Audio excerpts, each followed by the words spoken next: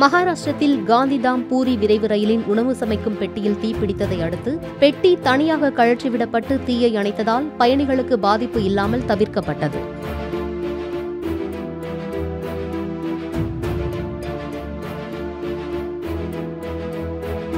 குஜராத் மாநிலம் காந்திதாமில் இருந்து ஒடிஷாவின் பூரி நோக்கி சென்ற விரைவு ரயில் இன்று காலை பத்தரை மணிக்கு மகாராஷ்டிரத்தின் நந்தூர்பருக்கு வந்தது. அப்போது ரயிலில் உணவு சமைக்கும் பெட்டியில் தீப்பிடித்ததை அடுத்து தீயணைப்பு படையினர் வரவழைக்கப்பட்டனர். தீப்பிடித்த பெட்டியை தனியாக கழற்றிவிட்டதால் மற்ற பெட்டிகளுக்கு தீ பரவாமல் தடுக்கப்பட்டது.